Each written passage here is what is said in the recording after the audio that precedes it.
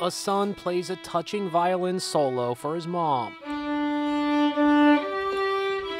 14 year old Emilian Sosa is performing on Zoom for his mom, Erica, who is on a ventilator battling COVID 19 at a hospital in Texas. Music really does soothe the soul.